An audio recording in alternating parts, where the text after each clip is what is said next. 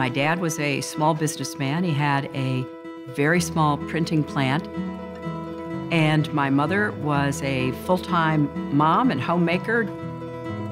She was a great seamstress, which she tried to impart to me, which was not successful.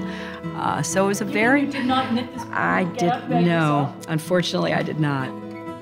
I was pretty much a predictable good girl. I had been a an enthusiastic but quite inept athlete. I was never very good. I loved theater. I could be in musicals as long as I didn't sing. That was the deal I had with the directors. And I was in student government. I had a, a lot going on.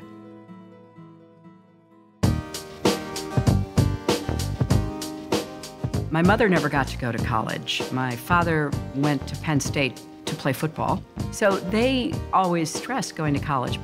I wasn't sure I wanted to go so far away from home. I wasn't sure that I would be smart enough. A lot of the girls that I met seemed to be really well traveled. I think the best experience was being part of a community where women were the leaders the president of the student government, the president of the drama society, the president of the choral groups. Everybody was a woman.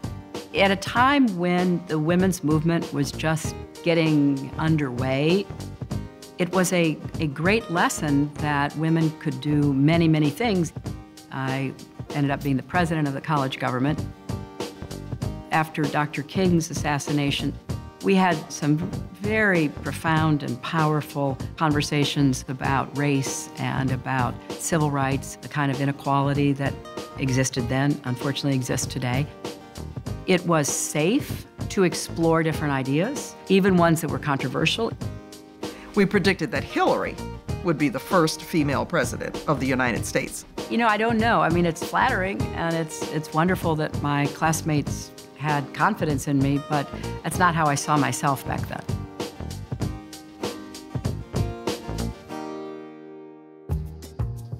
Well, I decided my senior year that I wanted to go to law school, and there were not very many women there. It was mostly young men. And it was a really stark reminder that the next step, whatever that would be, was going to be very different. My first job out of law school was with the Children's Defense Fund. But as First Lady of Arkansas, I had been very active in helping to reform education.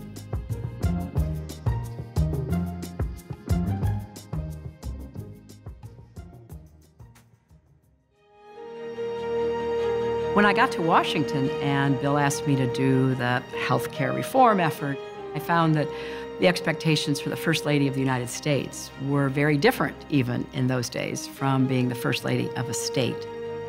And it took some real adjustment. And I was quite surprised by it, to be frank. It just wasn't part of the, the rule book for First Ladies. This was just thought to be a, you know, a bridge too far. It was a bruising experience in every way.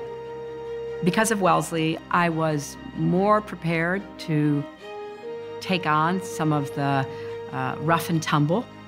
There was the foundation for using your talents and trying hard things. And if you get knocked down, get back up.